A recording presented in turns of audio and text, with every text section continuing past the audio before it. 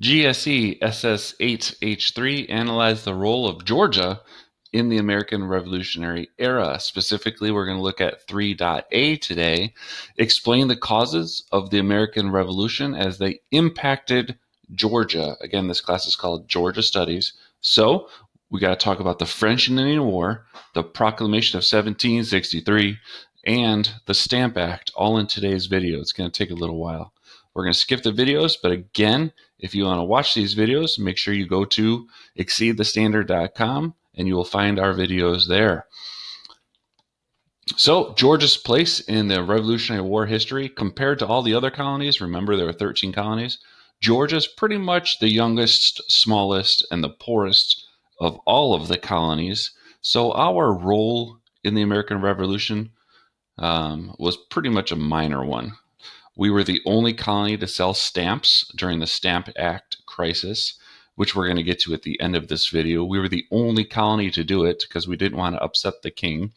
Uh, we were too loyal to the royal. We were too loyal to the king. And we were the only colony out of all 13, we were the only colony to not send a representative to the first Continental Congress two years before we declare independence in 1774. We're also joining the we join the war and when we do our city of savannah is recaptured by the british which we'll get to later. And our coastal cities are now controlled by great britain all the way through the american revolution to the end of the american revolutionary war. So we're not really that strong and powerful when we're fighting the british but we'll get to that later. So let's start with the french and indian war. Well couple things I want to talk about first with the French and Indian War. As you can see at the top here, it's also called the Seven Years' War, and it's from 54 to 63, which is more than seven years. England had a way of looking at how long this war was. We had a way of looking at how long this war was. We called it uh, the French and Indian War. They called it the Seven Years' War. It's what it is. So if we say the French Indian War or the Seven Years' War, uh, it's the same war. Okay, so the conflict isn't just between the French and Indian. You would say, oh, it's, it's a war between the French and the Indian. No, no, no. It's a conflict between France and England. Okay, so English was fighting the French, and Native Americans, the American Indians, fought on both sides. They fought with the French and they fought with the English. Okay, so traditional, immediate, and long term causes of the revolution really didn't have the same impact on Georgia as it did the other colonies because this war didn't really happen anywhere near Georgia. It happened right around here in the Ohio River Valley. So you can see right now in this map, Great Britain owes, owns all of this pink land here, and France, you can see, owns a whole lot more of North America land so right now, both countries are looking to populate North America, the new world, and they're going to have to go to war over it because we have greed and fear of the two different countries, French or the France and English, but basically greed, we want more, we want more, we want more, and fear. If the other side gets too much, then they might kick us out of the new world as well. So we have there's two major causes. These aren't the only causes of the war, but greed does lead to wanting more and more and more and more. And fear is I'm fearful that the other side might get more land than us and then eventually kick us out of the new world. So greed, we want your land in the new world because you only live once. And you can see a picture of this girl. She's being a little greedy. You ain't touching my dolls. And then we also have fear. Okay, we don't want the other to gain power in the new world. So, one way to make sure the other side doesn't gain power, you gain all the power first. So, in the war, the British claim that this is all their land and these are the 13 colonies. All right, the Spanish were still down here in Florida. The French had a claim to all this land, which we just saw before. And then this territory right here, the French claimed and the British claimed. So it was kind of like a disputed area of land where they were fighting over what land should we have? Is this British? Is this French? French and Indian War is in the Ohio River Valley right here. So we know Great Britain has a great navy because they stole all the boats, the Spanish Armada, and they just are very well like thought of as like the world leader right now because they have the best navy. France, as you can see right here, they have to have a strong army because they started up here and worked their way down all the way to the Gulf of Mexico. So they have an army that has walked all of this land here. So they are known for having the best army. Thing is, Great Britain had a strong alliance with six tribes of Native American or American Indians.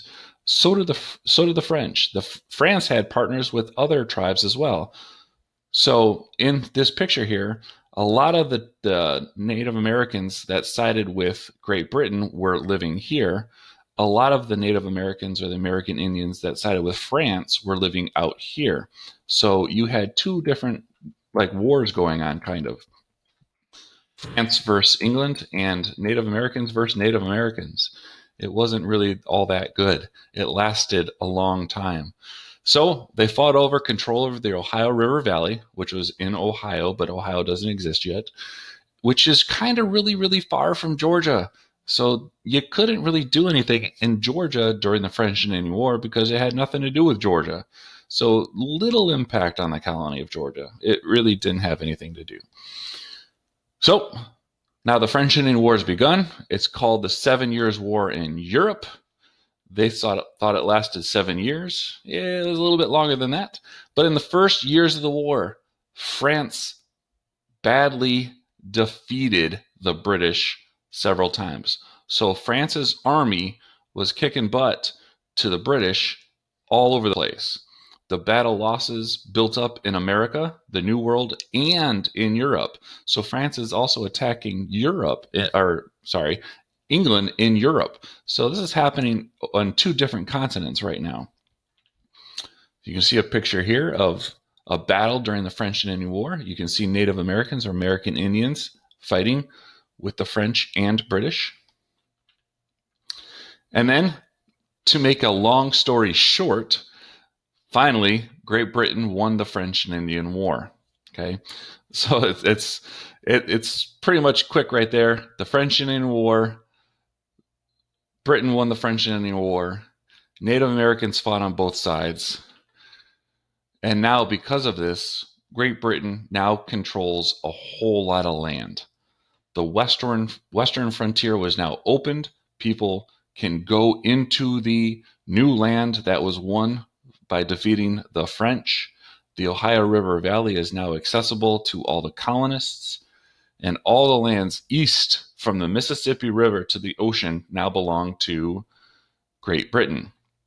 Because of this, Spain also had to give up their land in Florida because they saw the writing on the wall.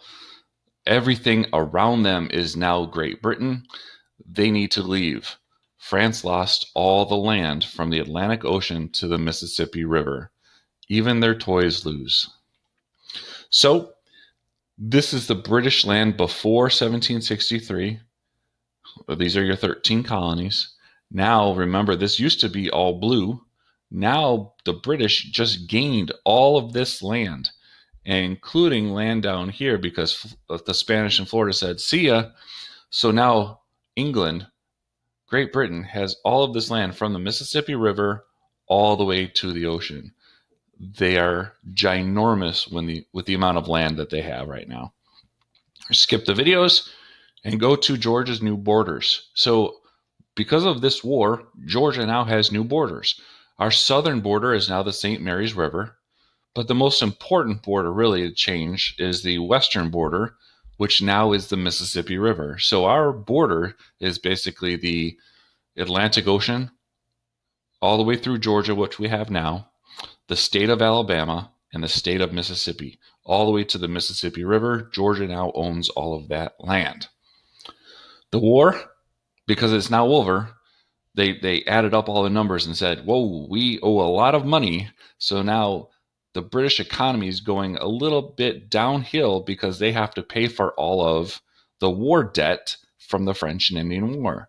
So King George III says, uh, We need to pay this war debt back. Who should we charge money so that we can now pay the war debt? So here comes the taxes. The colonists are about to start getting taxed. It's not going to be good.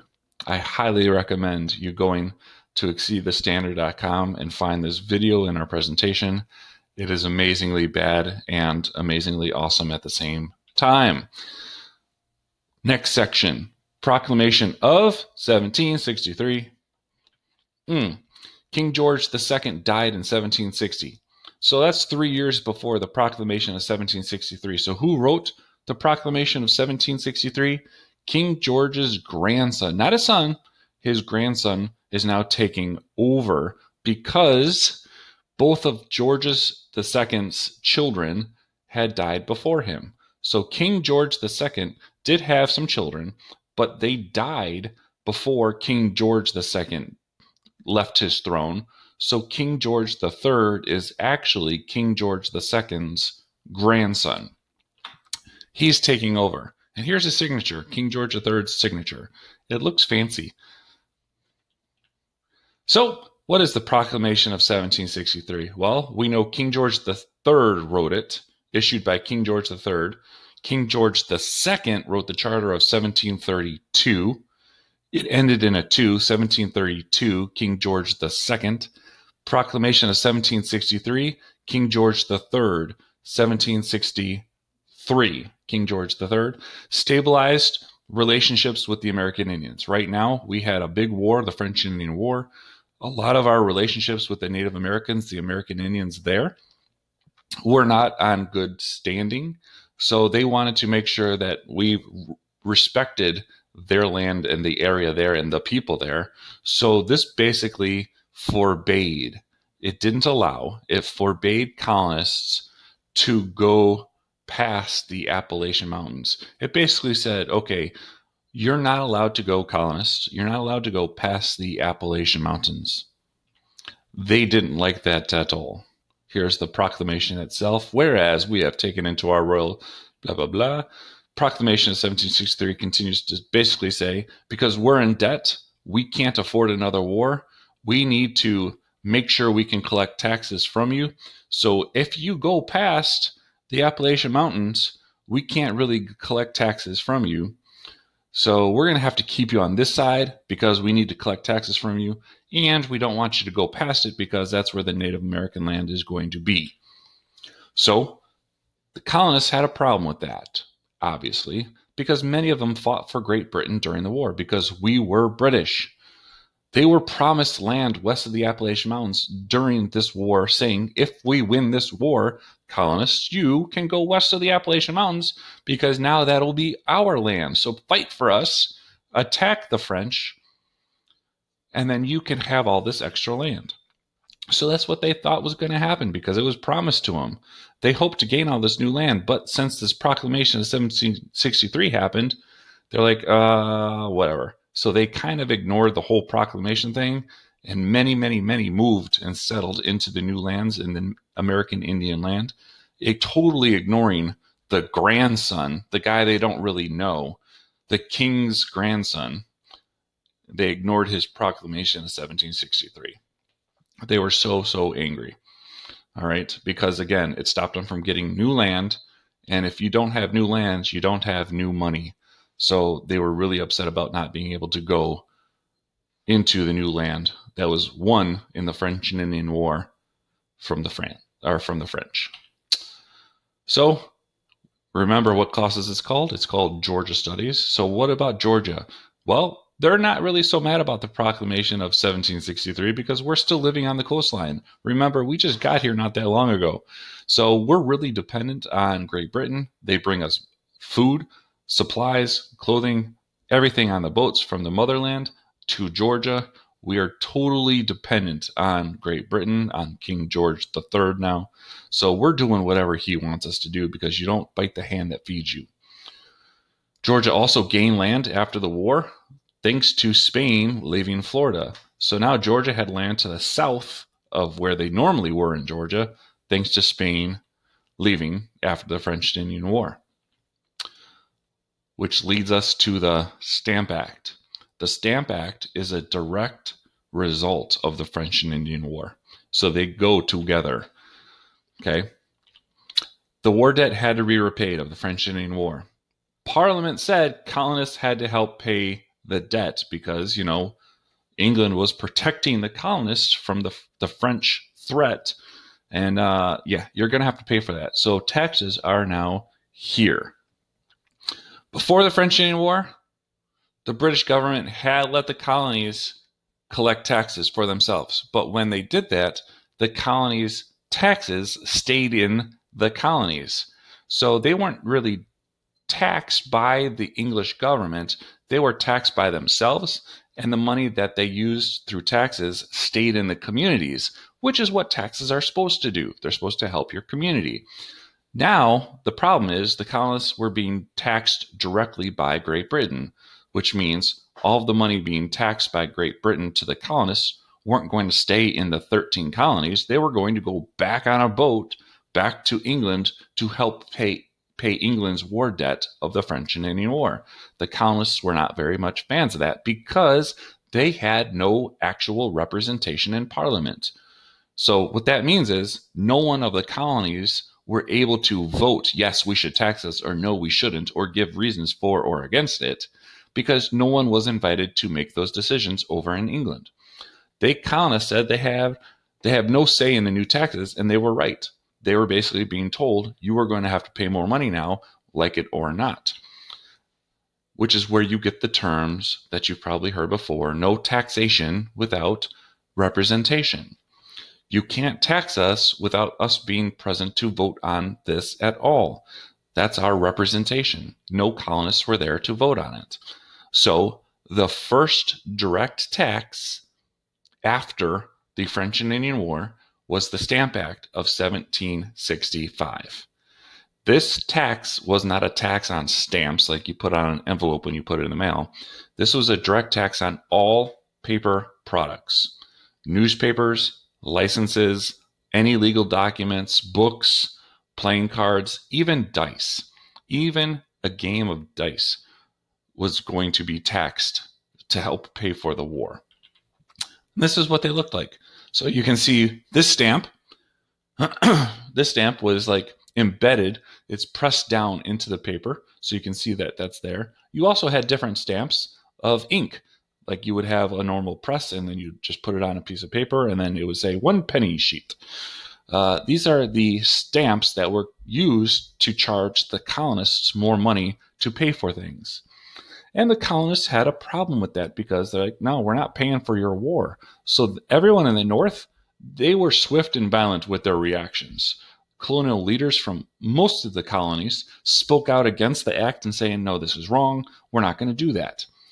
And the average citizens, just remember this right now, we're pretty much average citizens. We would have reacted violently in the northern colonies. Violently. They hung effigies. Now, what's an effigy? It's a likeness of a public official. Okay. Parliamentary leaders and royal governors were portrayed in effigies. And it basically was this think of a scarecrow dressed in some specific outfit, maybe a British soldier or a tax collector outfit, and the colonists would dress them as that person. They would put a noose around that, that scarecrow's neck, if you will, raise him up and set him on fire. Uh, that's how upset they were that they were literally burning hay or straw filled people to show their displeasure in the Stamp Act. They also attacked the homes of the British officials and the craziest part of all, they tarred and feathered tax collectors. Now, if you don't know what that is, tarred, if you look outside on a road and you see the road cracked and then piece of like black something on it, that's tar. But it's it's hardened, it's not burning up right now. But back then they would have warm tar, pour it on people, and then throw a bucket of feathers on them because they were all upset about being taxed extra money. It all had to do with money, ta- being taxed extra money. So the people that were their job, their only their only crime was that it was their job. They were the tax collectors for England. They were coming to collect the taxes from the colonists. The colonists were like, mm, not only are we not giving you money, we're going to give you some warm tar and then feather you. And then if that didn't work and you didn't die then, we would probably just hang you up right there and you know, you would die. The tax collectors would die. So this is a picture of unhappy colonists tarring and feathering a tax collector. His only crime was doing his job of collecting taxes, and the colonists had nothing of it. In Boston, there was a riot. In New York, there were protests. Everyone was very upset. So we got a group of people together and called it the Stamp Act Congress, which met in New York. Nine of the 13 colonies are represented. Of course, Georgia was not there. And they wrote a letter to the king to say, hey, here's what you're doing. Here's what we're doing. We don't like the Stamp Act. I know you need to repay the war debt that you guys have, but it's not going to be this way. So they went and met and they voted. Should we write a letter to King George III? Yes, we should. All in favor, raise your hand. Okay. It, it was bad. So do you think the King George III, remember the ruler of all the world, is going to listen to the puny little colonists that he doesn't care about? We're going to find out shortly. Some protest groups in Massachusetts, you might have heard the Sons of Liberty, think of any American Revolutionary War name, they probably were in the Sons of Liberty. We're not going to go over that now because this class is Georgia Studies, which means in Georgia, we had a group called the Liberty Boys that protested the Stamp Act as well. So not everybody in Georgia was for the Stamp Act, and not everyone was against either, obviously. We're going to skip our videos and go straight to what did King George do when he got the letter from the colonists? Well, Parliament decided to actually repeal, which means remove the Stamp Act as a law. It is no longer a thing. The Stamp Act is over. When the colonists found out about that, they were, yay, woohoo! They were all excited. But what they didn't know was that even though Parliament repealed the Stamp Act, Parliament was also passing a whole bunch of other acts that saying, oh, okay, you don't want to do the Stamp Act. This is what you're going to have to do now. And other taxes now are being set towards the colonists, and they're starting to get angry. So, what was George's reaction? Eh, again, not as violent. Remember, we're a small population. We had a strong governor named James Wright. And we, again, remember, we really depended on Great Britain and the king for our survival. They kept sending us stuff. We needed the stuff to survive. We were the only colony to actually sell the stamps during the Stamp Act. Although some resisted it, we were the only colony to actually do it. All right. And even though we did that, we did have some prominent, some important Georgians speak out about the Stamp Act.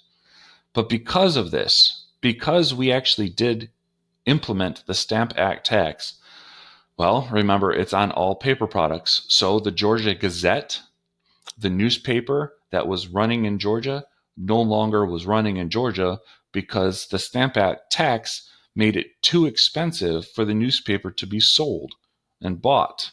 So the whole Georgia Gazette newspaper had to fold. It, it, went out of business, business because the Stamp Act was too expensive and they could not run their company anymore.